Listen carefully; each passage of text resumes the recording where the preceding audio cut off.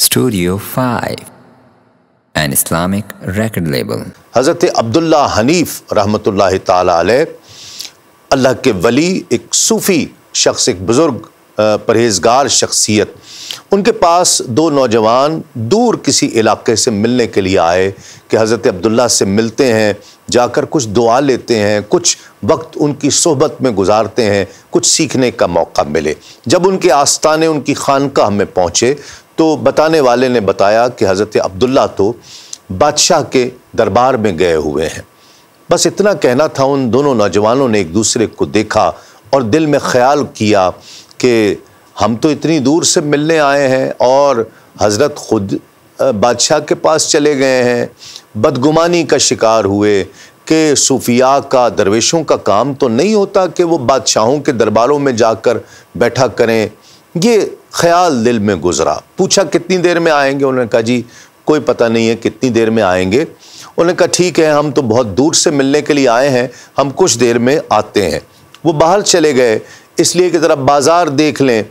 बाज़ार से गुजर रहे थे तो एक दर्जी की दुकान उनको नज़र आई। कुछ उनके जो जुब्बा जो पहन रखा था, जो खरका पहन रखा था, वो एक का कहीं फटा हुआ था। उसने सोचा कि जितनी देर हज़रत अब्दुल्ला लौट कर नहीं आते, हमारी मुलाकात नहीं होती अच्छा है, दर्जी भी मौजूद है, वहाँ हम इसको सिलवा लेते हैं। वो सिलवाने पहुँचे तो उस दर्जी ने सीना शुरू किया। कुछ देर में उस दर्जी ने शोर मचाया कि मेरी कैंची नहीं मिल रही। ये दो अजनबी थे, शहर में नए थे। उस दर्जी ने सोचा कि यही वो दोनों शख्स हैं कि जिन्होंने मेरी कैंची चुराई है।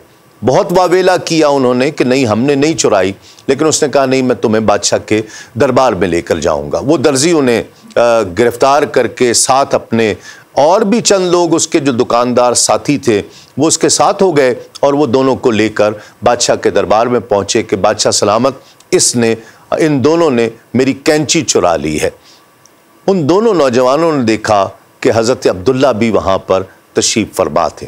हज़रत अब्दुल्ला ने जब उन दोनों को देखा तो कहा, बादशाह से अर्ज़ की कि, बादशाह सलामत, ये दोनों चोर नहीं हैं, ये तो दोनों सूफ़ी नौजवान हैं, दूर से सफ़र करके आए हैं, मुझे नहीं लगता कि ये कोई चोर है।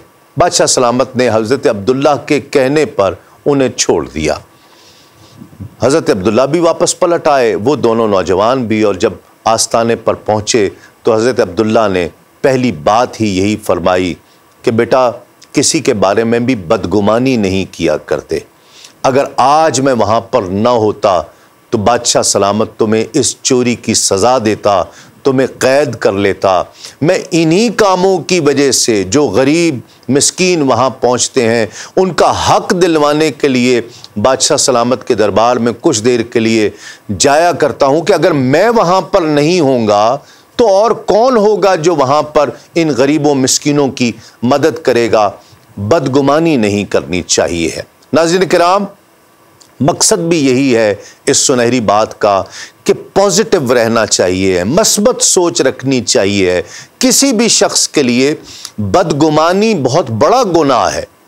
कि हम बदगुमानी रखें कि ये उसने काम, कोई नेगेटिव सोच लेकर आना कि ये उसने काम किया होगा तो इसके पीछे कोई ना कोई ये गलत वजह होगी। हमेशा मस्बत सोचना चाहिए कि अगर उसने ऐसा कोई फ़लाँ शख्स ने भी काम किया है तो उसके पीछे कोई मस्बत चीज़ ज़रूर होगी।